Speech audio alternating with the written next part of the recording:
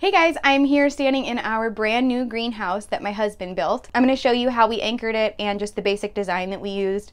Um, the building plans that I got off of YouTube, I will link that down below and I'm just going to give you big basic rundown on the greenhouse itself. I don't really have a whole lot planted out yet. I have some trays that are started, but I don't have a whole lot in here at the moment and I will come back to that at a later date when I have some more things growing kind of give you an idea of what we're starting, what's ready to plant out, and all that. So for now, I'm just gonna give you a look at the greenhouse itself and how we made it.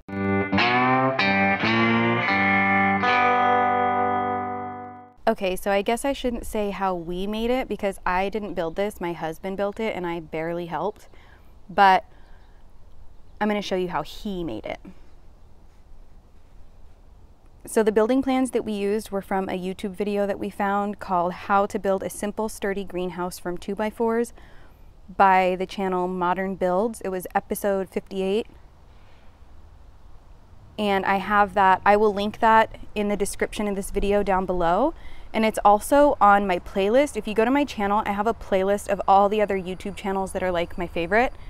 And I put that video on there. So go to the playlist called Other Channels I Love, and you'll be able to see that as well as a bunch of other great gardening resources on YouTube. And inside, I've um, insulated the floor a little bit with straw. This is just animal bedding. Um, it's lawn underneath, but it's mostly mud right now from all of it being trampled on during construction and our clay soil just stays really really cold all day. So once I insulated it it actually helps a ton. It feels really nice in here especially when the sun is out. It's a little bit cloudy right now but we should get some sun this afternoon. So this is our little anchoring system that I'm going to go over a little bit more in a moment and then up here you can see where he installed a vent for me. He kind of just like custom made me a little vent out of wood because we looked online for different vents and they were very expensive. and we had already spent a lot on this project. So I was like, let's just make a vent. Like it doesn't matter. So we just need to be able to get air to come in and out. So this is the vent. Oh, that's cold. Okay, it's a lot warmer in here than it is outside and I do not want to open that right now. so that is our little vent. And then our slat shelves here, I think Zach did a few things differently than what were in the original video tutorial that we found. We changed some of the dimensions and then I think he also changed how he did the shelves. But to save money, we just bought like a bunch of two by six and then kind of sliced them down to this big of pieces, however big that is, and made slats out of it. I don't know, I'm not a builder.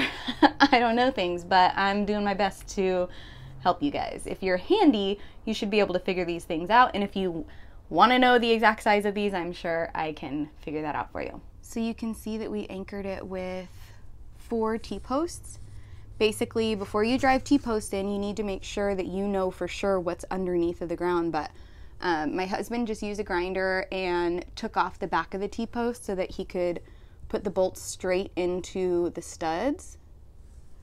So that's how we did that. So the T-posts, I think they are like four foot or five foot T-posts, and then he just drove them into the ground basically as deep as he could until the T-post driver, you know, is about that long. So I think that's maybe about 18 inches or 24 inches sticking out. So this is our first year with a greenhouse and we weren't 100% sure how to anchor it. We looked up a lot of different methods and things that we thought could work for this greenhouse, but we really wanted to use that modern builds design because we love the look of it. So I can't say for sure how well this anchoring system is gonna work, but it does look promising. We don't get tornadoes or anything here, but we do sometimes in the spring and fall, we get these like big heavy windstorms that'll blow through. I'm thinking it'll be fine because we're gonna have most of the cracks and stuff sealed up and I don't think any air is really going to be able to get inside of the greenhouse through those wind gusts. So I think it should be fine, but this is the method that we are using for now and this will be our first year and we'll be testing it out and just see how it goes. So I'll keep you posted on that. If our greenhouse blows away, I'm sure you'll know about it. but hopefully, hopefully it works. So this is kind of a workspace. This is where I'm going to be putting my, you know, filling my seed trays. Um, I've got a little bucket of soil down here, kind of where I'm working. And I have one tray of seeds in the house right now that are germinating and then I have, I'm going to be filling up this tray as well. So this isn't a winterized greenhouse. Something for you to keep in mind if you're thinking about building a greenhouse and you live in a colder zone. If you get below freezing temperatures in early spring or you're planning to use your greenhouse for tender plants through the winter, then you will need a winterized greenhouse, which means it'll need to be all sealed up, airtight, um, maybe some sort of insulation element and some sort of heating element because a greenhouse doesn't just hold its heat. It needs the sun to warm up and once the sun goes down, the heat escapes really, really fast. So I'm able to use this greenhouse for a lot of my colder crops. So my baby pak choi, my lettuces, spinach, things like that. And then my tender annuals will come out, but they go back inside at nighttime for right now. So eventually we will probably add some sort of insulation and heating element for using this through winter maybe next year, but this was a really big project for us this year, so I'm just kind of taking it easy and starting slow